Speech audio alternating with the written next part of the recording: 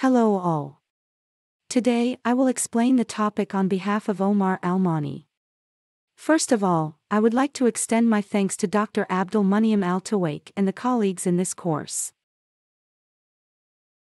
The BET method, also known as the Brunauer-Emmett-Teller method, is a widely used technique for measuring the surface area of porous materials, particularly solids. It was developed by Stephen Brunauer, Paul Hugh Emmett, and Edward Teller in 1938 and has since become a standard method in materials science and surface chemistry. Principle The principle of the BET method is based on the physical adsorption of gas molecules onto the surface of a solid material. The method assumes the formation of a monolayer of gas adsorbed onto the surface, where the adsorption occurs through van der Waals forces. The relationship between the quantity of gas adsorbed and the relative pressure is described by the BET equation, which takes into account the multilayer adsorption and assumes a uniform surface. Now it's your turn, Omar, to explain how the device works. Of course. Thanks, Jennifer. At the start of the analysis, there are no data on the isotherm plot yet. Instead, the sample is being held under a vacuum, waiting for gas to be admitted to the analysis tube, in this case, nitrogen. We are now going to show what will happen as we start to dose gas, and we do that to predetermine relative pressures. Instead, the sample is being held under a vacuum, waiting for gas to be admitted to the analysis tube. We are now going to show what will happen as we start to dose gas, and we do that to predetermine relative pressures. And at each pressure, the complete adsorption of nitrogen will be allowed to reach a steady state, a process called equilibration. The low-pressure region of the adsorption isotherm is crucial for understanding the gas adsorption behavior on a solid surface. This region represents the initial stages of adsorption, where gas molecules begin interacting with the surface and forming a monolayer. In gas adsorption, a monolayer refers to a single layer of gas molecules arranged on the solid material's surface. In the low-pressure regime, the adsorption isotherm exhibits a linear relationship between the amount of gas adsorbed and the pressure. This process occurs at low pressures when gas molecules interact with the surface and occupy available surface sites. The formation of a monolayer in gas adsorption refers to the arrangement of gas molecules on the surface of a solid material, where they create a single layer of coverage. This process occurs at low pressures when gas molecules interact with the surface and occupy available surface sites. The adsorption continues until the surface becomes saturated, meaning all available sites are occupied. The monolayer coverage is characterized by a linear relationship between the amount of gas absorbed and the pressure in the low-pressure regime. Understanding the formation of the monolayer is crucial for BET analysis as it provides insights into the material's surface area, porosity, and other surface properties.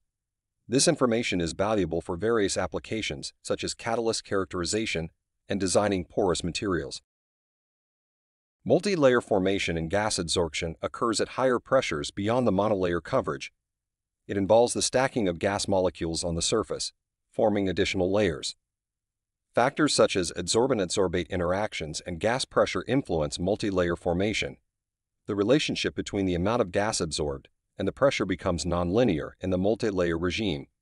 Understanding multi-layer adsorption provides insights into the material's pore structure and gas storage capacity. In gas adsorption, multi-layer formation occurs after the monolayer coverage with gas molecules stacking on the surface to form additional layers. As the pressure increases further, the adsorption process reaches saturation, where all available adsorption sites are filled, and no further adsorption occurs. Saturation represents the maximum gas uptake capacity of the material and is an important parameter for applications such as gas storage. At pressures higher than saturation, additional gas molecules may interact with the surface, but there is no net increase in adsorbed amount. Understanding saturation and studying adsorption beyond it provides insights into the material's adsorption capacity and non-ideal adsorption behavior. Now complete the explanation, Jennifer. Thank you, Omar, it was a good explanation. Instrumentation The instrumentation used for BET measurements typically includes adsorption apparatus. This consists of a sample chamber, where the solid material is placed, and a gas supply system for introducing the adsorptive gas. Pressure measurement a device is used to measure the pressure of the gas. Adsorption analyzer an instrument measures the quantity of gas adsorbed at various pressures. Common techniques include volumetric methods, gravimetric methods, and modern automated analyzers that utilize techniques such as gas chromatography or physisorption. Applications The BET method finds applications in various fields, including characterization of porous materials. It is widely used for determining the specific surface area of materials with porous structures, such as catalysts, adsorbents, activated carbons, zeolites, and metal organic frameworks.